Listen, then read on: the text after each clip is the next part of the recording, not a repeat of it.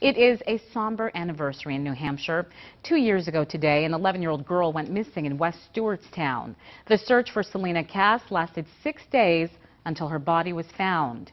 Investigators say the murder case remains active. And as Jean Mackin reports, Celina's family is making this day and holding on to hope. Two years after her daughter disappeared, Celina Cass's mother built this memorial on the front lawn of the home where she now lives. She has not returned to the house where Celina vanished on Main Street in West Stewartstown, where word first spread that an 11-year-old was missing.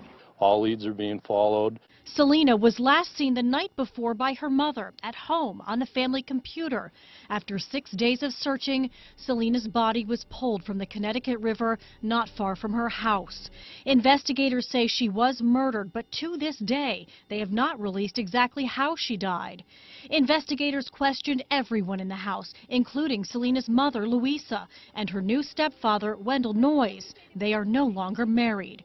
Still, no arrest in the death of the girl who just finished fourth grade, loved basketball as much as dressing up with her big sister Kayla. They shared a bedroom in the basement. The night Celina disappeared, Kayla was away at a sleepover. Last summer, Celina's mother had these words, haunting another year later. It'd be an awesome thing if they could get the person off the street that did this. Celina's mother and sister wear gold crosses with Celina's ashes inside. Her mother says she recently met with the Attorney General's office, and while there's still no arrest, she still has hope for justice. Jean Mackin, WMUR, News 9.